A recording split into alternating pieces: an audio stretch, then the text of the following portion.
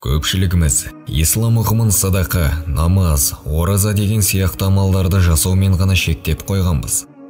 Неге олай деймін түсіндірейін. Көпшілікке белгілі мына хадисті естіген боларсыздар. Бір әйел құдықтың қасынан қатты шөлдеген итті көріп оны аяйды итке су құйып беретін адас болмағаннан кейін ол әйел аяғындағы аяқ киімін шешіп соған су толтырып итке су берген.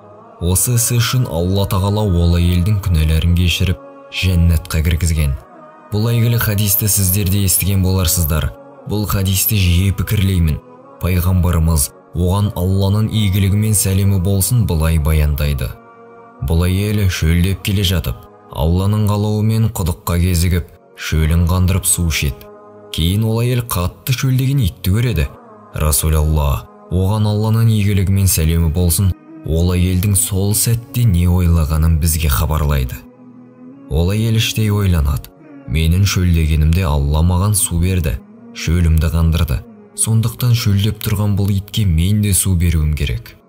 Мысалы сіз шөлдегеннен су сатып алып оны іше бастайсыз.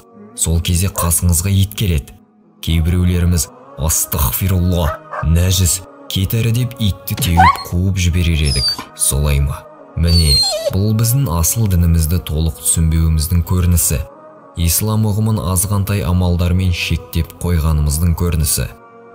Сөйтіп итке су беру үшін жаңаға ел аяқ киімін шешіп ішіне су толтырып итке береді. Осы іс үшін алла ол әйелдің күнәләрін кешірген. Осы оқиғаны салыстырып жиі ойланамын. Бүгінгі күні дінді ұстанатын адамдар осындай жағдайда не істер еді? Бұл әйелдің басына келген ойы қазіргі құлшылықта жүрген бауырларымыздың ойымен салыстыратын болсақ толығымен өзгеше. Басым көпшілік бұндай жағдайда қате пайымдап итке қатысты дөрекі шешім қабылдаған болар еді. Ал бұл әйел басқаша ойлаған. Алланың көрсеткен діні бізді әрбір іс әрекетімізге айналамызға жауапкершілікпен қарауды үйретеді.